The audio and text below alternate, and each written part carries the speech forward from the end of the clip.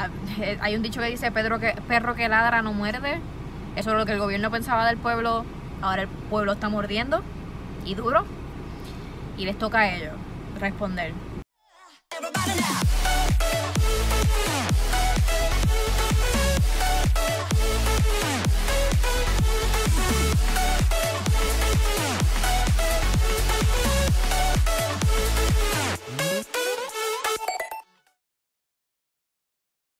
Hey, what's up you guys? My name is Denise, this is my vlogging channel y extrañaban el carro, yo sé, like, estaba acostumbrada a hacer los vlogs en el carro empezar en el carro, en algún punto estar en el carro, pero últimamente pues lo he estado haciendo como que all over the place. Este, nada, era para informarles que pues voy a estar haciendo mis vlogs como que con cantitos de diferentes semanas porque mis semanas son bien uneventful, honestamente, como que yo no hago mucho. este, yo lo que estoy haciendo es trabajar como loca. Em, so ahora mismo voy a entrar a trabajar. Este, pero hoy por la noche voy a salir. Así que pues grabaré un poquito de eso y eso. Cuando sienta que quiera grabar algo, pues saco el teléfono y. Cool.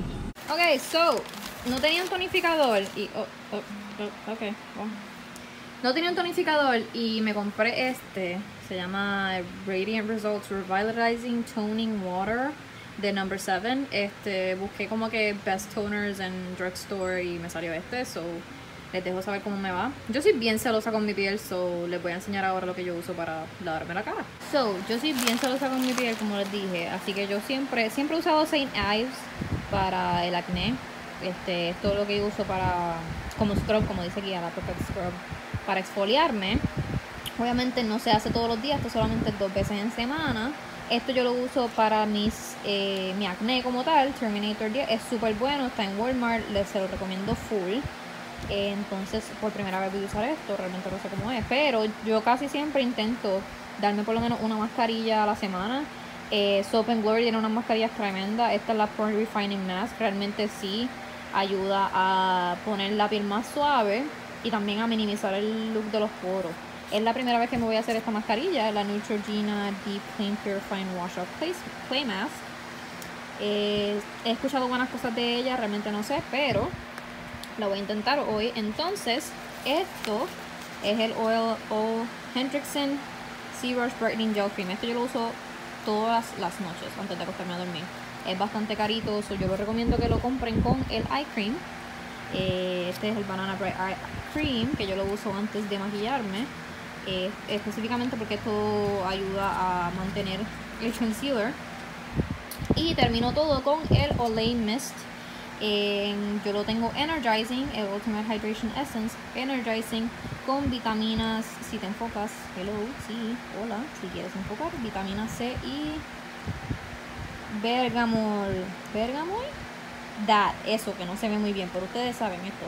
Todo esto lo pueden conseguir en su drugstore favorito. Yo soy aficionada a no gastar mucho dinero, así que esto yo lo recomiendo. Menos esto, esto no lo he intentado, así que no me hagan caso, esto todavía les dejo saber como un mes.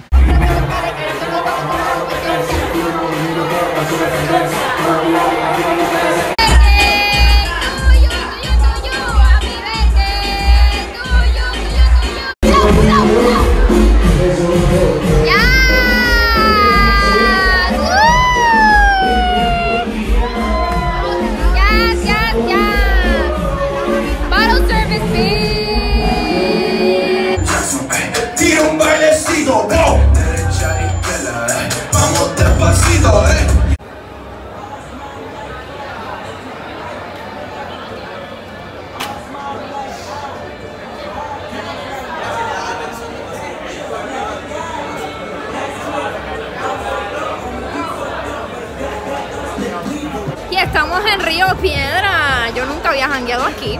Como mi amiga Frances bien conoce. Sí, hola Frances, dile hola al blog que yo no sé cuándo voy a subir. Pero este nada, estamos aquí en Río, estamos en el 8.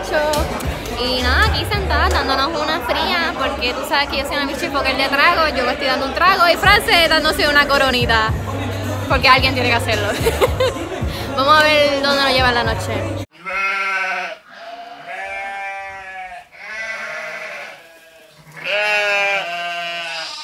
It turns out que no tienen el color de pelo que yo tengo en el beauty.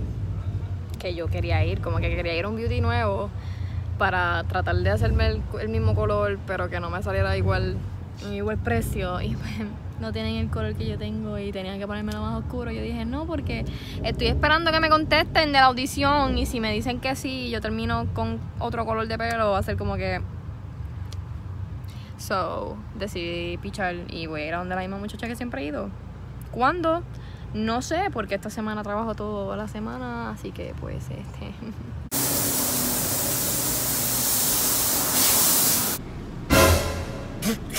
wow, parezco un león, vamos. Este, ¿qué es la que hay? Em, por lo que han visto, como les había contado, yo no hago absolutamente nada que no sea trabajar y dormir. Y pues, ajá, este, sí lo sé, tengo que pintármelo, me lo voy a pintar la semana que viene en Temen Break. Este, nada, quería venir aquí, estoy sentada esperando al frente de mi otro trabajo a que lleguen para yo entonces poder trabajar, vamos. Eh, wow, lo que está pasando ahora en Puerto Rico es triste eh, y a la misma vez llena de orgullo el formar parte de una generación que realmente le importa el futuro del país y no es solamente de la boca para afuera como que sí, este millennials and whatnot y siempre se nos consideraba a nosotros como que ah, que nosotros somos unos tráfalas, que, que lo único que queremos es fumar y estar en la esquina y no hacer nada por nuestras vidas y que somos unos desperdicios de espacio y que no sabemos nada y toda la mierda. Pero ¿quiénes están allá en San Juan manifestándose? Los millennials. ¿Quiénes están allá dejándose sentir con unos maquillajes Mira, unos maquillajes en la madre. O sea, una cosa tremenda. Y los body paintings, hay una muchacha que estaba que estaba llena de mensajes y de la bandera de Puerto Rico y estaba como que llorando negro y tenía como que la boca vendada. A mí eso ese eso eso a mí me encantó. Ese ese se me olvida cómo se llama. Este, eso tiene un nombre. Anyway, fue un body paint, fue un body paint básicamente. Pero a ella le quedó tan brutal la persona que la pintó. Este, el video, uno de los tantos videos que hicieron de ella, se me pararon los pelos cuando lo vi. Fue. Realmente es una situación lamentable. Es bochornoso, pero bochornoso nivel.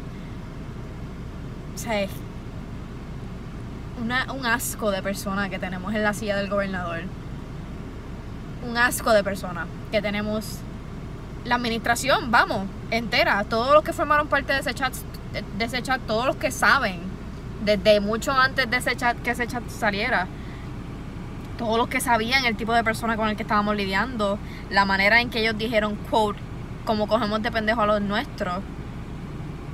O sea, eh,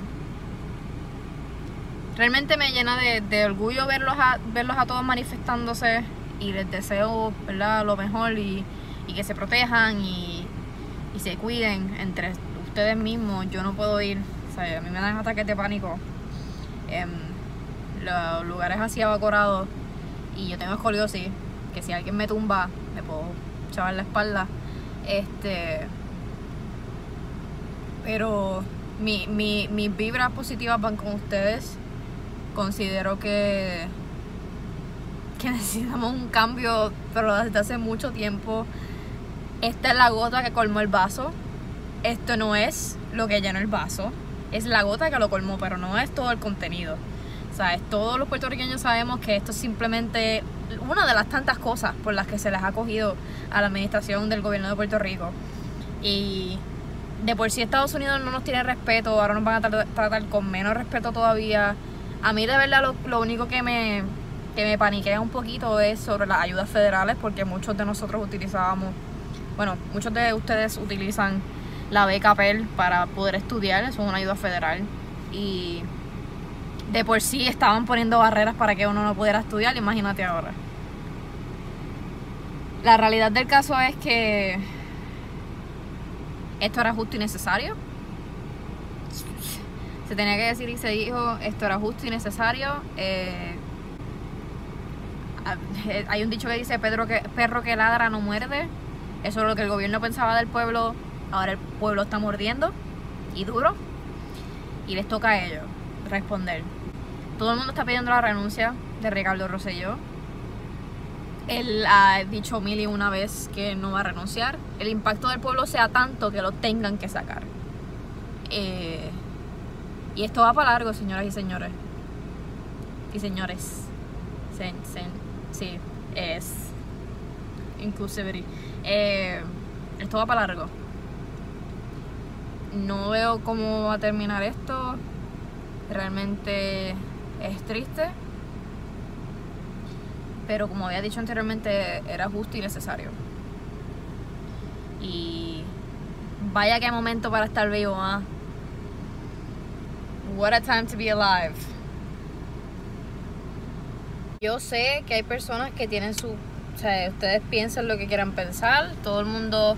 Everybody's entitled to their own opinions. Todo el mundo tiene, ¿verdad? Derecho a expresarse y libertad de expresión. Nosotros somos un, país libre de expresión. Este, se permiten las protestas, se permiten cosas así. Se nos trata de callar la boca, pero no se puede. Eh, pero por favor, estas son, esta es mi opinión respecto a esta situación. Si usted, si ustedes, uy, wow, intensa. Eh, si ustedes piensan de otra manera, si no están de acuerdo conmigo, estén de acuerdo conmigo, eh, vamos a mantenerlo, ¿verdad? Civiles, se puede abrir una discusión, pero recuerden que las opiniones cambian. Eh,